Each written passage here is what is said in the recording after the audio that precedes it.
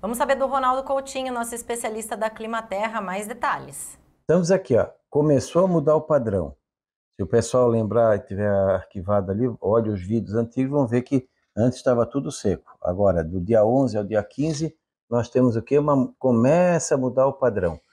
Vai espalhando um pouquinho a chuva aqui no Amazonas, Acre, Rondônia. Começa a aparecer as primeiras pancadas aqui no oeste do Mato Grosso, sudoeste do Pará. Melhorou bastante aqui, ó, na metade sul do Mato Grosso, oeste e sul de São Paulo. A região sul como um todo deu uma senhora melhorada na chuva, volumes bons de chuva, variando aí de, de, de 25 a 50 milímetros, um pouquinho menos aqui em Santa Catarina, mas aqui também não tem tanta, tanto problema. Rio Grande do Sul aqui melhora o plantio, aqui continua atrapalhando por excesso de umidade. Excelente para o Paraná, Mato Grosso do Sul, São Paulo, alguma coisinha no Rio. Começa levemente aqui, ó, no sul de Minas, talvez ali, deixa eu ver até quando, até dia 15, eu acho que ali pelo dia 14, 15, alguma coisinha perdida. Aqui no Cerrado Mineiro, depois do dia 18, 20. Observem bem esse mapa. Aqui também, na parte do, do leste e nordeste, pancadas isoladas de chuva. Mais nuvens do que chuva, mas tem alguma coisinha aqui que é o normal. Grande parte do nordeste dentro do padrão. Então, começa a vir a chuva. Para quem quer plantar aqui no Mato Grosso Sul, Paraná e sul de São Paulo, pode aproveitar talvez agora nessa quarta, quinta, sexta, um pouco antes da chuva, porque a partir de sexta a sábado a chuva chega. No Paraná é principalmente final de semana, Mato Grosso do Sul fim de semana, São Paulo também sábado e domingo e, e alguma coisa na segunda. O Rio Grande do Sul já melhora a partir de, de sábado à tarde. Domingo segunda bom no Rio Grande do Sul. E aqui, o, olha só como já mudou, como vai avançando a umidade. Aumentou a chuva no Amazonas, Acre, Rondônia. Olha aqui ó, o Mato Grosso. Isso aqui é principalmente do, depois do dia 15.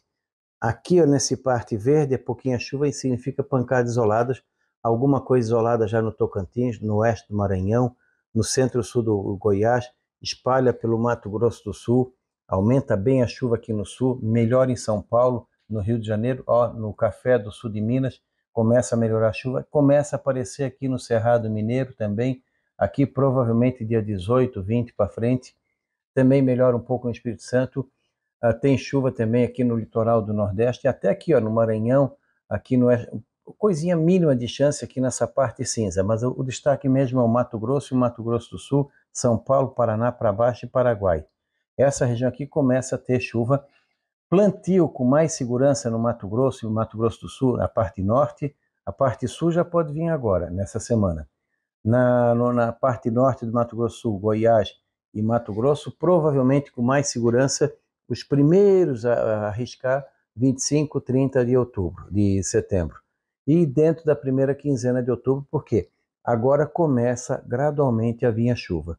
Tudo indica que outubro, nessa região aqui, vai ficar de normal a acima da média, ou seja, totalmente diferente do ano passado.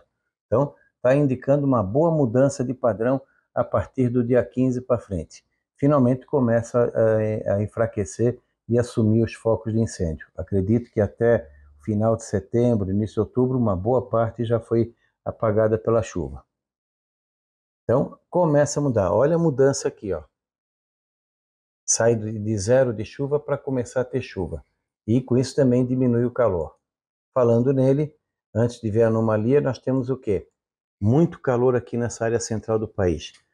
Mato Grosso, Goiás, Tocantins, Mato Grosso do Sul, centro-oeste de Minas, centro-norte, oeste de São Paulo, norte e oeste do Paraná, Paraguai, Rondônia, Amazonas e Pará, essa região aqui, de hoje até início da semana que vem, vai ter temperaturas elevadas. Esfria aqui na metade sul do Mato Grosso Sul, esfria em São Paulo, sul de Minas, Rio. Essa região aqui cai a temperatura no fim de semana. São Paulo vai ter um dia frio no, no, domingo e segunda, São Paulo capital.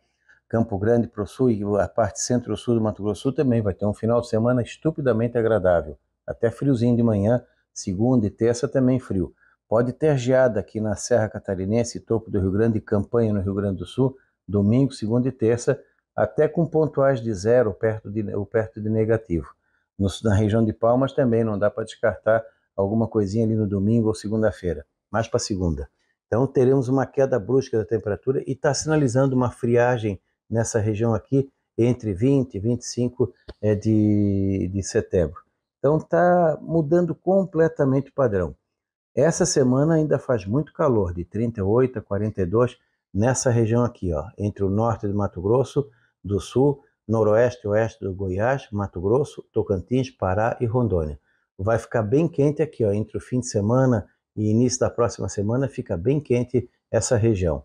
E na anomalia eu peguei aqui, ó, do dia 18 a 25, olha como muda radicalmente. Fica muito bom aqui no sul, normal aqui nessas áreas em branco e um pouquinho abaixo nas áreas em marrom. Comparando com o que estava indicando semana passada, melhorou bastante. Então, à medida que entra na segunda quinzena é, de, de setembro, vai ter o quê? Uma melhora nas condições de, da volta da chuva, diminuição da temperatura, claro que vai ter ainda calor, mas diminui, e o risco de friagem. E principalmente o início de um plantio um pouco mais seguro, acho que do dia 25, 30 de setembro ou primeira quinzena de outubro. Daí o pessoal dá uma análise na sua propriedade como é que foi a chuva. Mas a chuva está vindo com uma certa regularidade que não é tão comum assim. Melhor do que o ano passado. Da Climatea, Ronaldo Coutinho. Boas notícias, Coutinho. Obrigada pelas informações. Lembrando que esse quadro foi um oferecimento da Lotus Biosoluções. Um novo conceito em nutrição vegetal que está oferecendo para agricultores de todo o Brasil mais produtividade. Lotus Biosoluções, excelência em produtividade.